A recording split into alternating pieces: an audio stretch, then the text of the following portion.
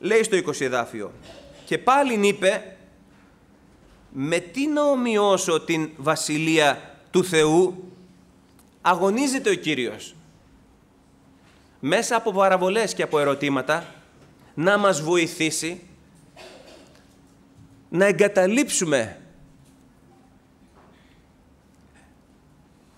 μια διεστραμμένα ιεραρχημένη κλίμακα αξιών που θεωρεί τελικά το σημαντικό ως ασήμαντο και το ασήμαντο ως σημαντικό. Με τι να ομοιώσω την Βασιλεία του Θεού; Προσπαθεί λοιπόν ο Θεός τώρα να με βοηθήσει να αντιστρέψω αυτό το σύστημα αξιών που θα ήθελα να έχω αλλά επειδή εσύ φταίς δεν το έχω, ή επειδή ο άλλος φταίει δεν το έχω, ή επειδή η άτιμη κοινωνία φταίει που δεν το έχω.